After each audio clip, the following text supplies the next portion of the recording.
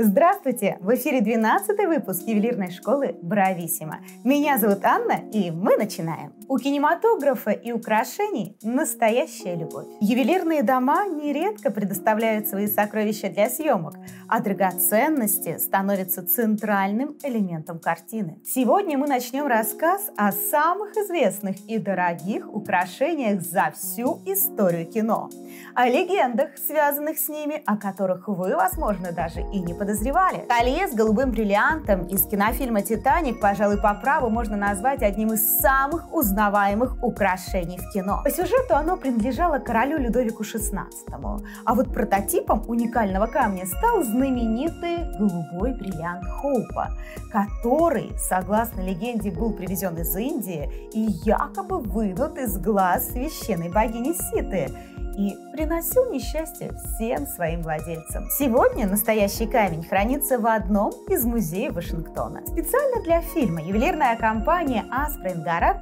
разработала похожую подвеску из танзанита в обрамлении бриллианитов и белого золота. Однако после невероятного успеха «Титаника» у кулона появилось два роскошных двойника. Первую реплику сделали из синего сапфира весом 171 карат, обрамленного обрамленного 103 бриллиантами. Именно ее надела певица Селин Дион на церемонии вручения премии «Оскар» в 1998 году. А во втором ожерелье пришла на церемонию актриса Глория Стюарт, исполнившая роль Роуз, но уже в более преклонном возрасте.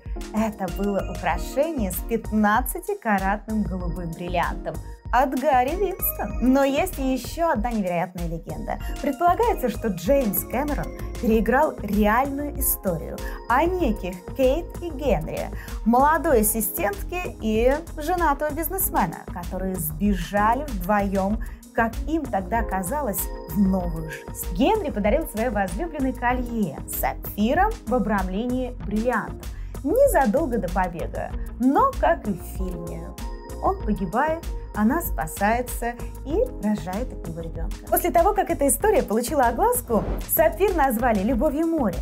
Сейчас он выставляется на пароходе «Нормандик», который в 2006 году был открыт для посещения.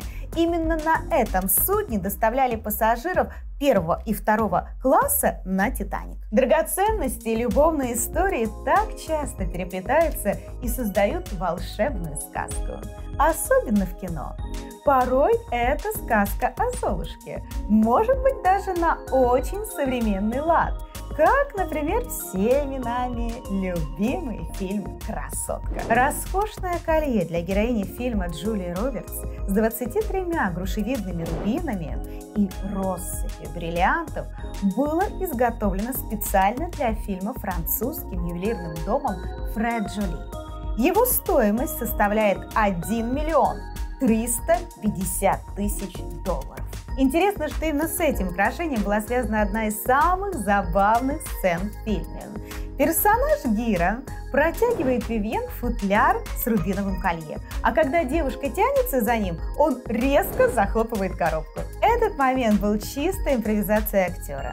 И реакция Джулии была такой искренней, что при финальном монтаже сцену решили оставить. Ну и, конечно, когда говорим о драгоценностях в контексте кино, сразу же вспоминаем фразу героини Марлин Монро о том, что именно бриллианты – лучшие друзья девушек. Это был легендарный фильм «Джентльмены предпочитают блондинок». Однако не все знают, что для продвижения фильма был задействован натуральный желтый бриллиант весом в 24 карата под названием «Луна Бароды». Именно он украшал колье от Гарри Винстон, которое носила Мэрилин Монро, когда исполняла песни про бриллианты во время рекламной кампании. Этот камень считается одним из самых старых ювелирных изделий, ведь на момент съемки ему было более 500 лет. В числе его предыдущих владельцев были индийские махараджи, императрица Мария Тереза Австрийская и королева французская Мария Антуанетта. В 1943 году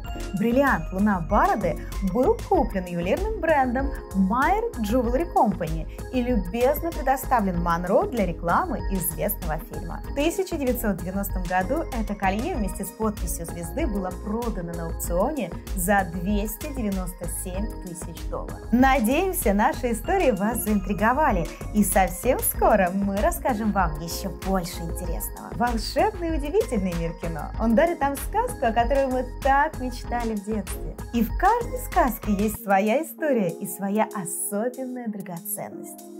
Давайте продолжать мечтать, и пусть ваши мечты обязательно станут явью. А сделать мечту о драгоценностях доступнее поможет ваш любимый ювелирный салон Брависсимо.